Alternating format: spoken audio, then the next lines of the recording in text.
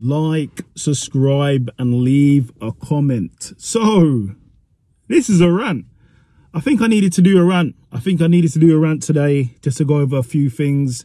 There's been a lot happening recently in the mixed martial arts world, mostly UFC 300. Um, and there's things I want to cover WWE, AEW, and also boxing. So, like, subscribe, and leave a comment. So this is a rant. Um, uh, so let me know how you feel about these rants. If you like these rants, and let me know, I'll do more of them. So I thought I'd just do something different today. Got a, free, a, bit of free time on my hands. Um, I thought I'd speak to you lot. I appreciate you lot uh, for sure. This is our community here. So let's talk about UFC 300. So there's been a lot spoke about 300 in about what the main event's going to be for UFC 300. There's been a lot of talk about it. So a, a lot of people are knocking the card. it's just, it's quite funny when um it was announced that Kayla Harrison is going to face um Holly Holm. And then when it was announced, if you look at the comments of when it was announced on Dana White's social media, shout out to Dana White. Um, it, there's a lot of hate on there. There's people going sleeping emojis and toilet break emojis, things like that. I think it's a bit harsh because I think it is a really good fight. I'm looking forward to that one for sure. It's going to be a really good fight. I'm looking forward to that. Um, and then you got the rest of the card. So you got Weili Zhang. So if you look at the card, the card, I think the card's a solid card. I think it's a solid, solid card, and I think it's worth your money.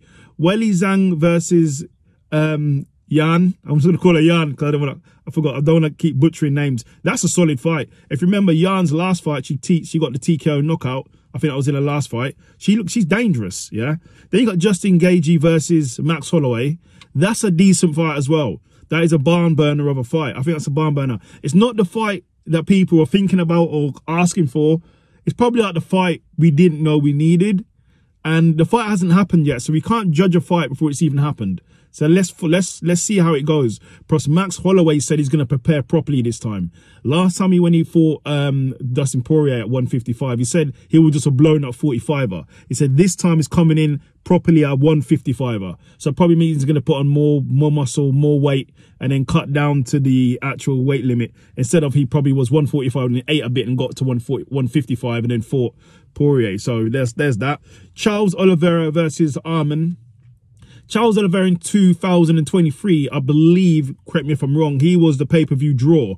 He was one of the, he was, his pay-per-views were the most bought pay-per-views. So he's a pay-per-view draw on whatever he goes on. And I like this fight as well. I would have preferred Charles versus Islam, obviously, like everybody else would, but um, I think Islam I think he's injured. I think. I'm not sure. Correct me if I'm wrong. If he's not, my bad. Then we got Yuri versus Rakic. That's a solid fight. That's a solid fight. Um, Calvin Kattar versus Aljamain Sterling. That's a common. That's a solid fight. Um, Aljamain Sterling doesn't get enough love. And I don't hear enough people. Is it just me and Sugar Sean that say this? That Aljamain Sterling is the greatest bantamweight in the UFC of all time. He has the most title defenses in the UFC at bantamweight. So, and the same thing said about Stipe. People call Stipe the greatest heavyweight in the UFC history because he's got three title defenses. Well, we should be saying the same thing about Aljamain Sterling. He has three title defenses in the bantamweight division. He should be called the greatest bantamweight of all time, but no one ever says that. So I think we need to start saying that, and I'm going to be I'm going to be always saying it until somebody breaks that record. Bo Nickal versus Cody uh, Brundage. Bo Nickal, you know, he's a he's an upcoming prospect. He gets a lot of coverage, so that's a good. I always like to see Bo Nickal fight, see where he's at, see what's improved on. Deiveson Figueiredo versus Cody Garbrandt. That can be a main event anywhere. That could be a main event for a vacant title. That could be a main event on a fight night. That is a big fight. That's a barn burner. Holly Holm versus Kayla Harrison. I, I, like the fight. I like it. I like it. I like it. I like when new people come in that's got hype behind them. And let's see how they do in the UFC. I like the fight. I like it. I like. Let's see what happens there. It might be a wrestling heavy match. We'll see. Or will Holly Holm be on her bike, uh, pep, like hit, hit and move, stick and move, and keep it moving. We will see. I'm looking forward to it. Um, Sadiq versus Diego Lopes. That's going to be a barn burner. Jessica Andrade versus Mar Marina. That's a barn burner for the women. And then Bobby Green versus Jim Miller. That's a that's a barn burner. This apparently that fight was booked quite a few times and never happened, but it's it looks like it's going to happen at 300. Um, Jim Miller's been on 100, 200. It can be on 300. This is a barn burner. I think this card is absolutely solid. I think it's a solid card. I think we need to give a bit more praise to this card. Um, but there's a lot of heat and a lot of people talking about UFC 299. So we look at UFC 299. It is a it is a solid card as well. Uh, Sean O'Malley versus Vera, barn burner. Dustin Poirier versus um, uh, Saint Saint Saint Benoit Saint Denis. I got it out there in the end. That's a barn burner. But apparently there's something going on with that fight. As of today, telling you this right now, as of the 2nd of February, which I'm doing this video, um, apparently Dustin Poirier said the fight's off. So I don't know what's happening, but apparently it's still on, far as I know. I don't, I don't know what's going on. Then we got Kevin Holland versus Michael Venom Page. That's a barn burner. Then we got um, Gilbert Burns versus Jack Mandel Jack Mandelena. Mandelena. Yeah, that's a that's a that's a sick fight. And then Petr Yan versus uh, Song. That's a that's a sick fight. Um, the prelims are tasty as well. Curtis Blaydes versus Almeida. Dang. Uh, that could be a main event anywhere. That could be a main event. Main event for a fight night. Probably not a pay-per-view, but main event. Oh, if we need to, we need to for a vacant title. It can be done. Um, Kagan uh, Chookagian versus Mace Maycee Barber. That's a really good fight. I like that one. Uh, versus RDA. Yeah, definitely. Pedro. Yeah. Even Michael Pereira's on there. That uh, Mikel, Mikel Pereira. There's some good fights in 299. I, and the thing is, 300 is not done though. We're judging it. It's not done. Um, that's a solid fight. If I if I was booking UFC, I think I would put the Kevin Holland versus Michael Venom Page fight on 300. I think that's a 300 fight, personally. But the UFC know what they're doing. So if we're talking about 300, let's talk about the possibilities on 300, what the main event can be. So far as I know, just looking at Wikipedia, the last fight we have um, before the co-main or main event is um, Yan versus Weili Zhang. So that's that's that looks to be one of the main fights or feature fight. what people are people uh, online are expecting something out of the blue. They're expecting something left field. They're expecting a Brock Lesnar. They're expecting a Ronda Rousey. Those two things, and I doubt that's going to happen. I really doubt Brock Lesnar or Ronda Rousey is going to happen. I really doubt it. I could be wrong, but I doubt that's going to happen. Brock Lesnar, for one, is suspended. Um, so that's that's not going to happen. That error we have to. What we have to do is stop. Forget. We just need to start forgetting about the error of 100 and 200. This is the. This is a new error. This is a 300 error. The 100 200 error. Obviously, 100 had Brock Lesnar versus Frank Mir and um, George St Pierre versus Thiago Alvarez. That was blockbuster. But we don't have those. We don't have GSP, as far as I know, and we don't have Brock Lesnar anymore. So we need to stop thinking about Brock Lesnar and stop thinking about uh, George St Pierre being on 300. We need to start. We need to look at what's what we're playing with these days. Um, 200. Uh, it was meant to be three title fights. Well, four. Well, three title fights. Yeah, because we had Frankie Edgar versus Jose Aldo we had um, Miesha Tate versus Amanda Nunes. It was meant to be obviously Jon Jones versus DC, but it didn't happen. And it was they and so they did DC versus Anderson Silva. That was meant to be five rounds, but Anderson Silva only wanted to do three, so that was meant to be three title fights. So we're looking, for, we should be having another title fight on 300. Now, if I'm working in the war room with Dana White, uh, them them cool guys, who what would I do? So this is just my thought on it. For 300 working on what we have now, okay, on what we have now, I would try and to put two more title fights on there because we want to. This is 300. We want to try and push it over the edge. We want to try and outdo 200. We want to outdo 300. Okay, so I'll be putting two more fights on there. I think there's 11 or 12 fights on there now. I think we can put two more on there. I'll be looking to put Izzy, so Israel Adesanya versus Dricus. That's what I'll be looking for. If we can't do that and Izzy's not ready, you could do a rematch. You could do Dricus versus Strickland rematch. Okay. Um, I think that probably, if Dricus versus Strickland probably couldn't main event it, or it could do, it could main event, I suppose. Also, you can look left field. We could do a. I keep hearing this one as well. We could do Alex Pereira versus Tom Aspinall. Now, Pereira wants the third title. He wants the third third title. We could do that, but I think he said it's not going to be enough time for him to put the, the weight on, and I think he wants to stick with stick with light heavyweight. We could do Pereira versus Ankalaev. There's another one. Um, I don't I don't know if Jamal Hill is ready. If not, if Jamal Hill is ready, definitely go with Jamal Hill versus uh, Pereira. 100% go with that. But if he's not ready, then there's some other options. But obviously, there's the big one. Conor McGregor versus um, Michael Chandler. That's what we want. And I know, because um, I listen to Chael as well. Chael, Chael, he's, I listen to his podcast. He's awesome. I listen to Chael. Shout out to Chael Sonnen. When Chael calls something, it usually happens. He called the Max Holloway versus Justin Gaethje, and it happened. Obviously, I think he's got some inside sources somewhere because he's works, he works there. Um, but I think he's got a good enough source to be able to be very confident to stick with it and keep pushing that narrative. And he was correct. So um, he he dropped some really good ones. But I, I think you can do Michael Chandler versus Conor McGregor, not for a title, five round. I think you can do that. Conor McGregor's a big enough star to do that. You can still do that. I think you can do that match. I don't think there'll be any issues. You can do that for a main event. I know obviously it's, it's, it should be it should be a title fight. That's fine. But I think you can do that for a main event with no title. You can do when the Conor fights it's, it's a big it's a big deal. I don't think any fight can go above that. I think that will have to be the main event. That we will have to be. And I think the fans and everybody will understand is Conor's the main event. You have to do Conor. You have to do Conor the main event. I don't think you can do anything else.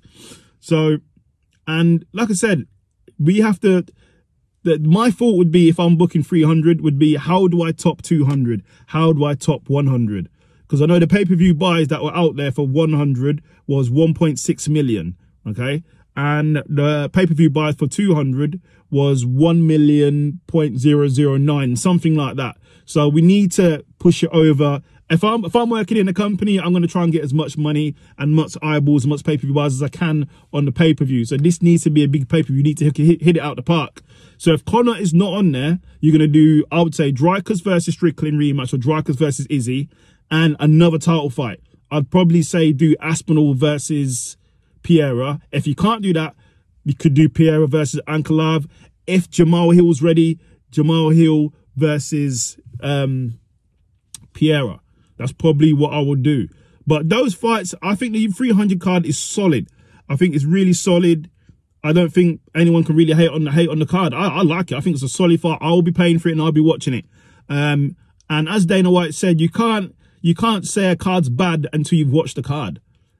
Like some of these fight nights we see with no names on it. Well, there's no every, there's everyone's got a name, but the fight nights we see with no star power on it, sometimes they're the best cards. They have the best fights, the best KOs.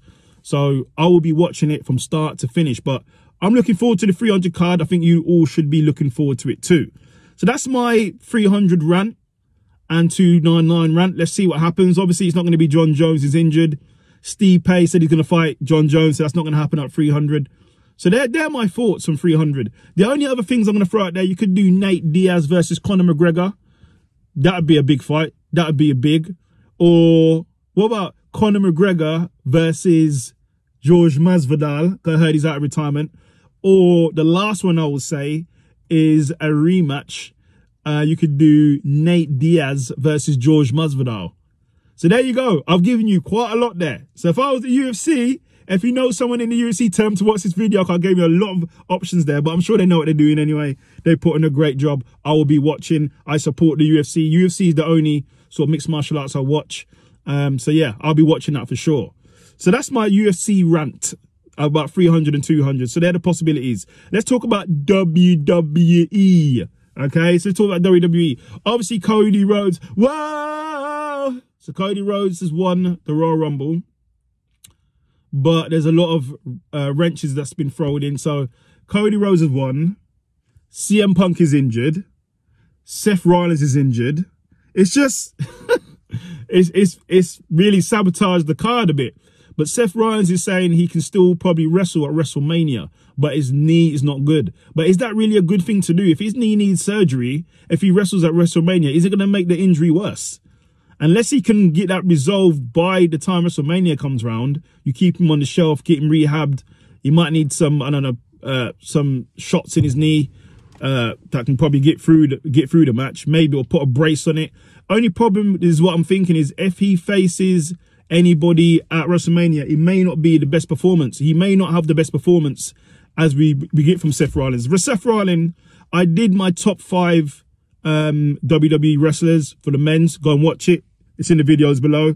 I also did, if you want to go and watch it, the top five, the top five UFC male fighters. I've also done the top five women fighters as well. Go and watch it as well. As well, I've done the top five women uh, WWE wrestlers. Go and watch it. Top five male and female AEW wrestlers. So go and watch it. I've done the videos and those. Go and watch it. But anyway, it may not really, if you look at it, Seth Rollins has been the most consistent wrestler at a top level, championships level, level in the WWE. Now, I did put Roman Reigns as number one, but the unofficial number one is Seth Rollins. But I couldn't put him because this Roman Reigns is, is not lost recently. He's, he's holding the title for so long. He had two titles. It's just like, how do you put him as number two? But Seth Rollins is the unofficial number one, is what I'll say. But anyway, but if he fights, if he wrestles um, Cody or anybody at WrestleMania, how good would the match be? Will the match be up to his usual standard, top tier standard? Will he suffer a worse injury in the actual match? These are things he needs to think about. But hopefully he can he can sort his knee out and by the time it comes around, he can wrestle. So we will see what happens. CM Punk is injured as well. I heard somewhere his injury might not be that bad. He might still be able to wrestle at WrestleMania, so we will see. So this is what I would suggest. So wrestle. So I'm I'm helping out UFC. Like I said, send this send this video to UFC. You're welcome. You can send this video to WWE as well. Because this is what I would do. So Cody Rhodes has won the run uh, Royal Rumble. I think we should do Cody Rhodes versus Seth Rollins. That's what I think we should do. And we should do Roman Reigns if he's healthy versus CM Punk. That's what we need to do in the main event of WrestleMania. So give CM Punk his main event, goes against Roman Reigns. And what should happen is CM Punk should, unfortunately, I like CM Punk. I like CM Punk. I like Roman Reigns. But if you're doing it from a business standpoint, you're probably going to let CM Punk lose the match to Roman Reigns because you still want to do Roman Reigns versus The Rock. Now, The Rock said he won't do the match against Roman Reigns because he needs a better build up. He only dropped in, said he wants to sit at the head of the table, not a stool, not a couch, not in a car like me not in a, not anyone anywhere else, not in an aeroplane. He wants to sit at the head of the table. And that's it. And then he's, we ain't seen him since. But he needs more of a build up, like it was him and Cena. You do a year build up and then they have the match. That's what I think needs to happen with him and Roman Reigns. We're now in February the 2nd. Uh, the match is two months ago. I don't think it's enough time to build up a Rock versus Roman. So I don't think it's going to happen. And that Rock versus Roman match needs to be for Roman's title. So we can't really take the title off Roman. I don't know. Tell me if I'm wrong. Leave, leave a comment. Tell me if I'm wrong. But I don't know if you can take the title off Roman right now because that might lose fire and steam and prestige of the match between him and The Rock. So I think you need to keep The Rock. Unfor well, fortunately, unfortunately, depends what, what you do, how you, how you feel about it. But we're going to need to keep the, the title on Roman. Let Roman win at, Raw, at WrestleMania and then let him face The Rock the year after. Whatever happens there, I don't know, but that's what that's the match that needs to happen. But the problem is, is how do we get CM Punk there if he's injured? So I've thought about this. So what you do is this. You have the Elimination Chamber match. you have somebody win the Elimination Chamber match who can take a hit, who can take a fall. A wrestler who can take a fall, so he can win the he can win the uh, the match, and then he can go to he can loses number one contendership to CM Punk, or it turn it into a triple threat match. So I'm not sure what wrestler who would be, but it'd be a wrestler that we wouldn't think like, oh my, oh he won it, really? Then he loses to CM Punk on like SmackDown or Raw, and then CM Punk goes against um, Roman Reigns in the main event of WrestleMania. CM Punk calls him out, let's have a match for your number contendership. And they have it, and then he takes the number contendership off him. That's how I think it should go or you do a triple threat match. With Cody Rhodes, let him face Seth Rollins because he's won the Royal Rumble. He won it last year. It's his time now. Give him the title. And it's, it's this is perfect for Seth Rollins because Seth, Seth Rollins can give the title over to um, Cody Rhodes and then he can get surgery and do everything he needs to do, properly rehab, while Cody carries the company. But there is an issue. The issue is Damian Priest. Yeah, I haven't forgot anything. I watch everything. I watch with detail. Damian Priest obviously needs to use his money in the bank contract. So this is what I suggest. Uh, spoiler alert, I'm probably going to spoil WrestleMania's plans, but um, I would say Damian Priest should cash in. I'd say Cody Rhodes beats Seth. Then Damian Priest cashes in on Cody Rhodes. See how it goes was Damian Priest as champion. If it doesn't go too well, I'm talking about analytics. I'm talking about pay-per-view buy rates. Uh, well, premium live, premium live event buy rates, um, ticket sales, merchandise, viewer rate, viewership when he's on screen. If that doesn't hit all the quotas they need to, then Cody takes the title back. It down the line in a couple months, give it back to Cody. That's my that's what I said to do. Now with the women's, um, obviously you got Bayley who's win the Royal Rumble. Who do you put her against? Her against Rhea Ripley doesn't really make much sense. There's there's no heat there. There's no story there. There's no heat there. You're coming off cold heat to have that match. So I would do Bayley against Iyo Sky. There's some kind of tension starts or something happens and then you do Bayley against Iyo Sky. Like the, on the day of SmackDown, them two fall out or something happens, then you do Bayley versus Iyo Sky. That's what I would do. There's no connection. There's not enough heat between Bayley and Rhea Ripley. It just doesn't connect for me.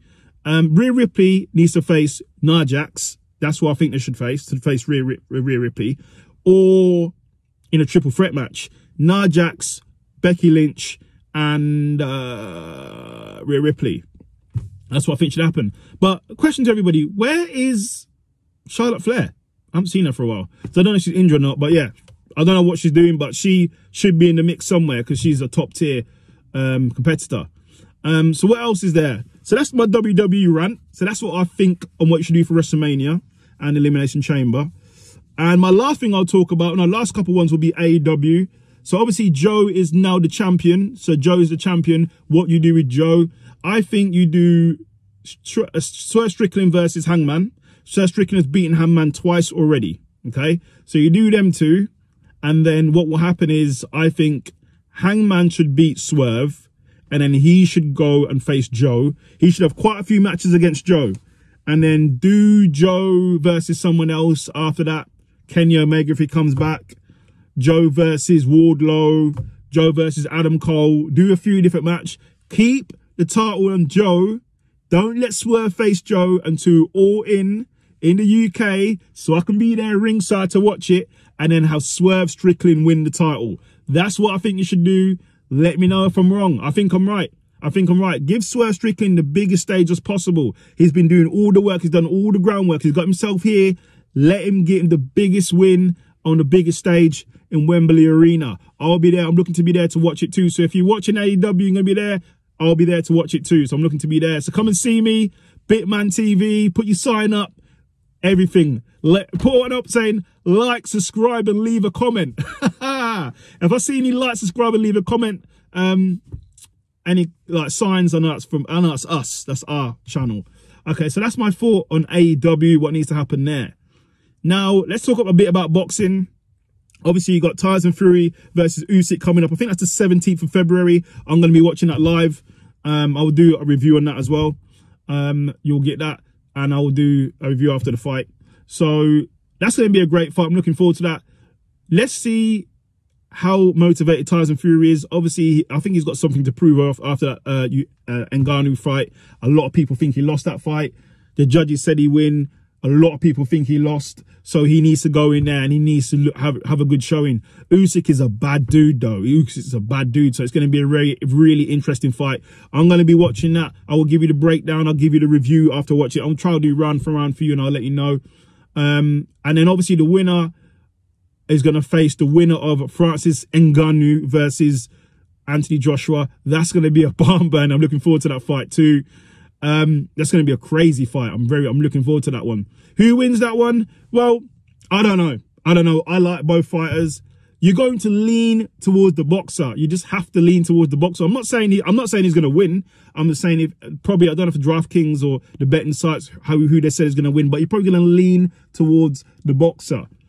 You're probably going to. But Francis Ngannou is something else. He wanted to be a boxer originally. So he's got all the tools to get this done. So it's going to be a great fight. I'm going to be watching those two. Obviously, I've done a video on that. Go and watch it uh, as well. I've done a little um, review of that. So go and watch it but I'm gonna do a, um, a review of after the fight, post fight of that as well.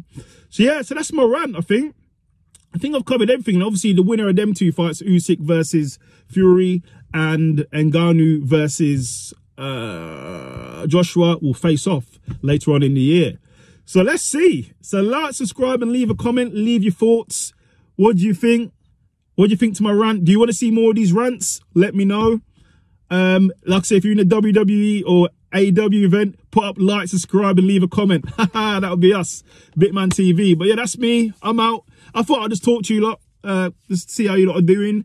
And like I said, I'm doing this on February the 2nd. So right now, we do not have a UFC 300 main event. And Dustin Poirier is talking about not fighting in the co-main event at 299. But far as I know, he's still, he's still fighting. So let's see what happens. But like, subscribe, leave a comment.